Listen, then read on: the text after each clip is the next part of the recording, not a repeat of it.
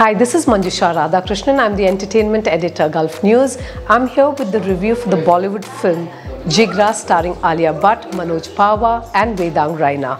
This is a prison break drama along with being very emotionally charged. We have Alia Bhatt who plays the doting sister to Vedang Raina.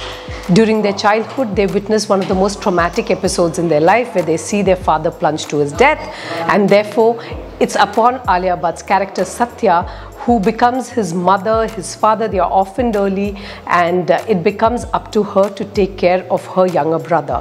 I mean, she's almost like this mother to him and she takes it upon herself to protect him from all odds.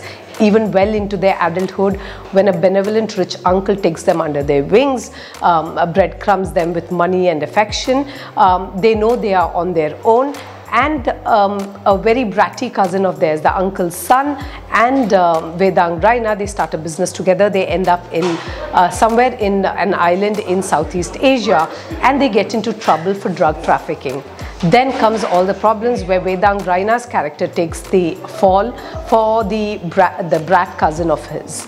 Um, now it's up to Alia Bhatt to save his brother. She comes to the rescue. This is a movie that completely rests on Alia Bhatt's fragile shoulders and she does a fantastic, phenomenal job of it. I mean, hear me out here. When you look at her, she may do karate. She's like, she claims she's a yellow belt, but did not become a black belt because she never plays by the rule. She's this fierce, sassy woman who uh, her sole focus in life is to be this fixer for her brother is to just fix everybody's problem. She's the person who looks at solutions. And for her her brother is her only uh, perhaps tangible um, you know uh, affiliation in her life and the only relationship that she really cherishes therefore she'll go to great lengths to do it. So the movie rests on her shoulders and she does a phenomenal job of carrying it through.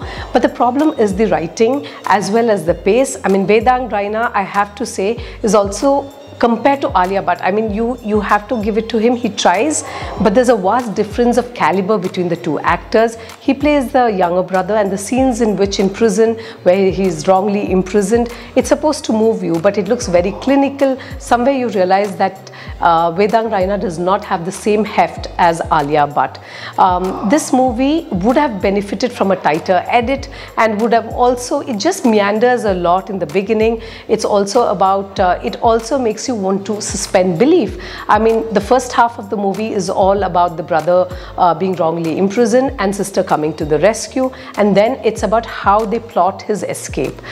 How these guys, this group of people, including Alia Bhatt, led by Alia Bhatt, just through sheer grit and some resources in terms of money, how they penetrate a high security prison, which we are told is impossible to get into. They're very strict. It's a country with zero tolerance to drugs. They have a fantastic security system and surveillance system in hand. How did a bunch of Indians manage to penetrate that prison? Uh, you'll have to suspend belief and that's one of the biggest pitfalls. When it came to the action, I thought uh, um, Alia Bhatt did a great job, but somehow her diminutive stature kind of went against her. The action scenes didn't look very convincing, although I found it very raw and visceral. But her doing it, she just looked bruised and battered in most cases. At that time, your heart went out to her, but you wondered how does she even how is she still standing so these are moments where you had to suspend belief the movie would have benefited hugely if the uh, plot twist towards the end was not so ludicrous.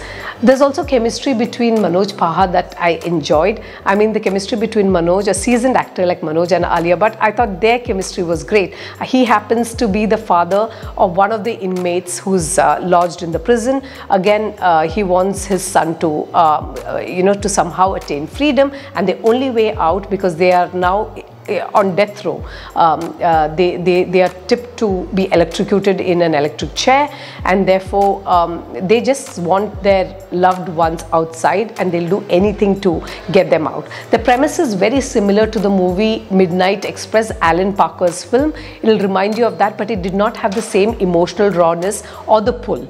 Um, I think this is a very wasted opportunity because here you have an actor like uh, Alia Bhatt who's so seasoned, who's so talented. I wish she got a better movie. Vedang Raina, uh, he has a long way to go. Um, he is decent but there are many emotionally charged sequences where you feel he does not uh, uh, carry the scenes through I have gone with 2.5 out of 5.